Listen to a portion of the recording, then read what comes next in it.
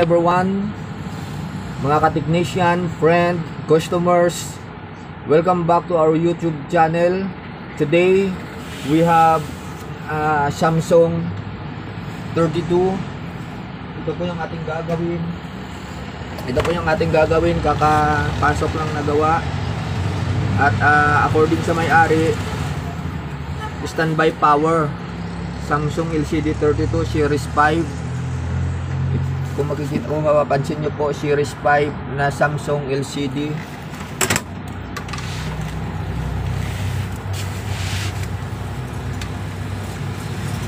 yan Series 5 so standby power siya at ang kanyang model model number ng Samsung na ito ay LA32 C550J1R So, marami na rin akong nagawa na ganito, pag standby power. So, yung mga nakaraang gawa ko na ganitong model ay nasa power supply ang problema. So, ngayon, titingnan natin kung ano ang problema ng model na ito. Ah, dahil kahit gagamitan nila ng remote, okay naman daw yung remote nila. Dahil tinry nila sa ibang Samsung, okay naman. So, ibig sabihin may problema nga ang power supply nito. So, tatry natin para malalaman natin kung totoo nga ba na standby power siya.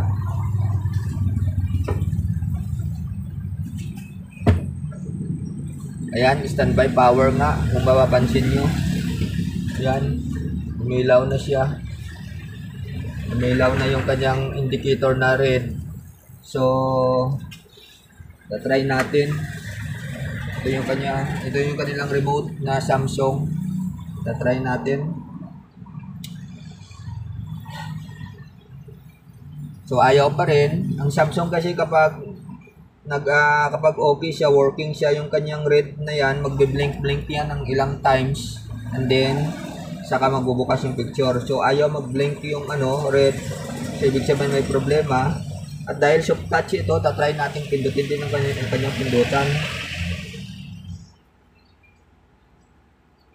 Ayaw din. Power, ayaw.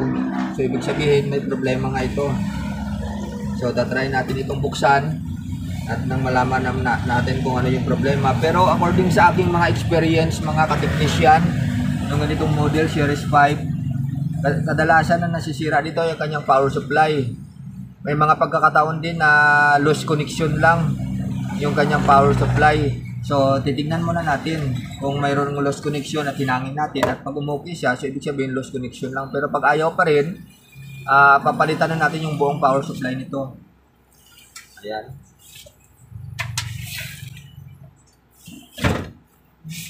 So, bubuksan natin para malaman natin at nang ma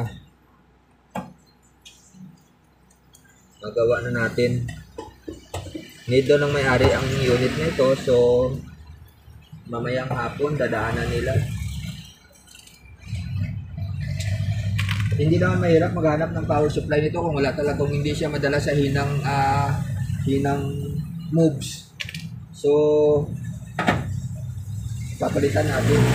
At meron din ako mga power supply dyan. So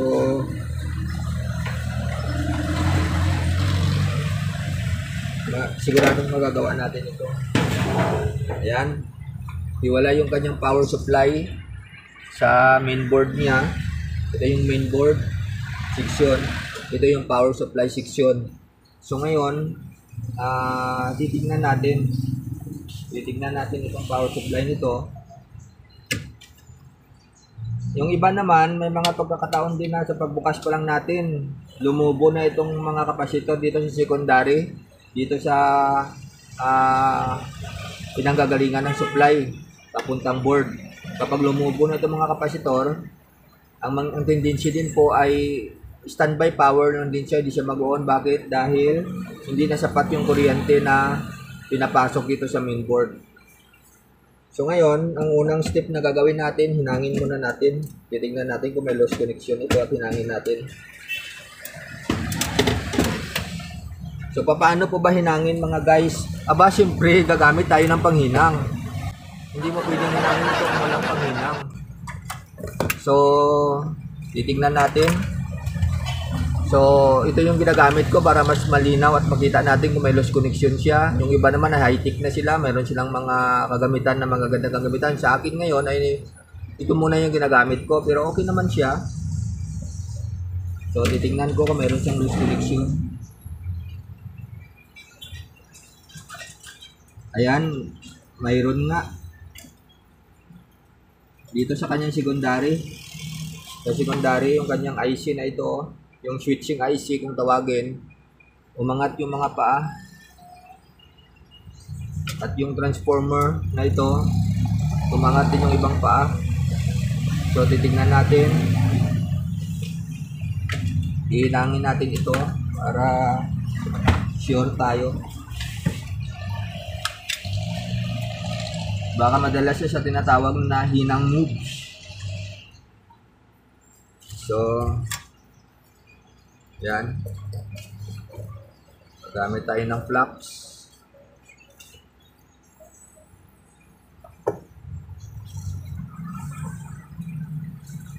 Yung soldering iron natin, mas maganda para manatili yung kanyang manatili yung kanyang kaya po natin siyang hinangin.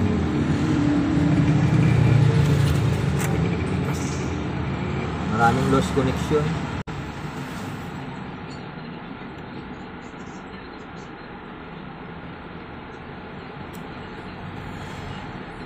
Malamang lost connection na lang ito. Standby power lang siya. Okay naman yung board, wala namang lumubong mga kapasitor at maganda pa yung kondisyon ng board. So, maaaring lost connection lang ito.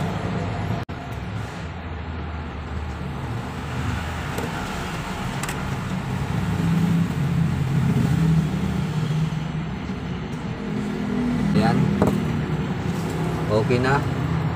So, ang gagawin natin, i-double check natin kung merong dumikit na mga paa sa paghinang natin. So, okay, wala naman. So, maganda yung pagkahinang. So, ikakabit na natin at subukan natin.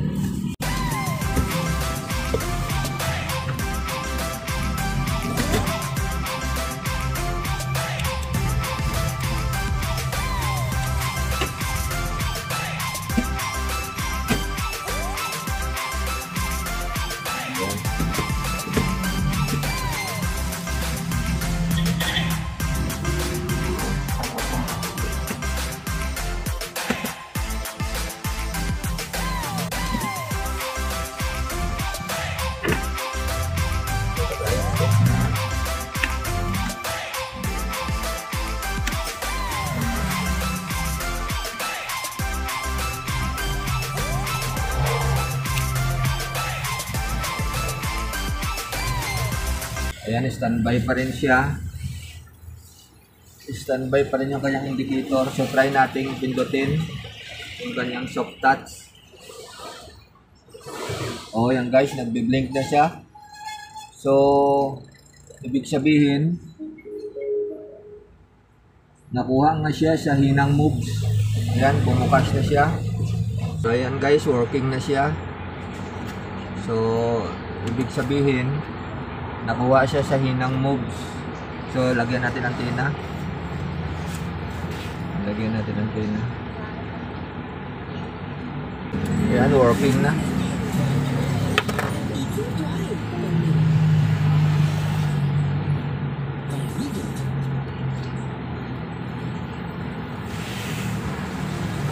Okay, good job. Nakuha siya hinang moves. So, tulad ng sinabi ko kanina, kung hindi siya madalas sa hinang moves, ah try natin palitan yung power supply. At itong ganitong series po, series 5 ng Samsung LCD32, power supply po kadalasan na nasisira dito. So maraming maraming salamat po sa suporta sa ating YouTube channel. At thank you so much sa inyong lahat.